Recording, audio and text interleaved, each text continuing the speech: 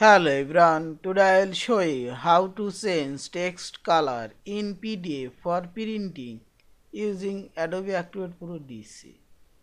Open your PDF file and select this tools option and scroll down or up. Here you will find this edit PDF option, click here and select here text. You want to change your text color, select.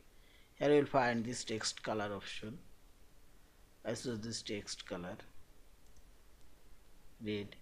also I choose this text color.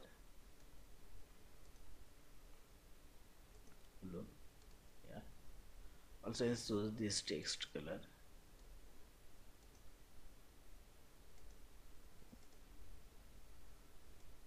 And this text color. Yeah. Now click close and select this file option. Here you will find this print option select your Adobe printer. And choose here. Print option.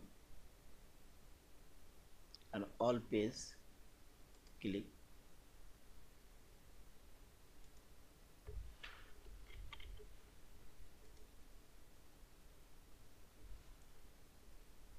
Yeah. Our PDF file already printed. Thank you for watching. Please subscribe, like, share and comments.